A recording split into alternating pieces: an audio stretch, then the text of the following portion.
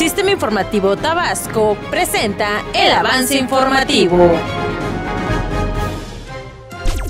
El titular de la Secretaría de Bienestar, Sustentabilidad y Cambio Climático, Manuel Graniel Burelo, dio a conocer que se está analizando enviar al Congreso del Estado una iniciativa con la finalidad de que el comercio establecido e informal deje de estar consumiendo o en todo caso fabricando material hecho a base de unicel. Malhechores asaltan y golpean a estudiante del Cobatap número 6, el cual fue trasladado al Hospital Regional de Cunduacán, pues se reportó con lesiones, recibió un cachazo en el rostro que le causó una herida. Los hechos ocurrieron por la curva del Chivo por San Pedro, rumbo a Gregorio Méndez.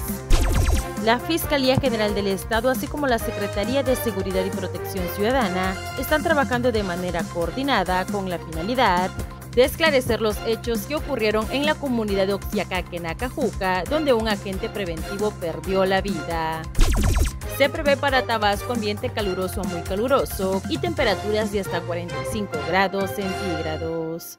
Sistema Informativo Tabasco presentó el avance informativo.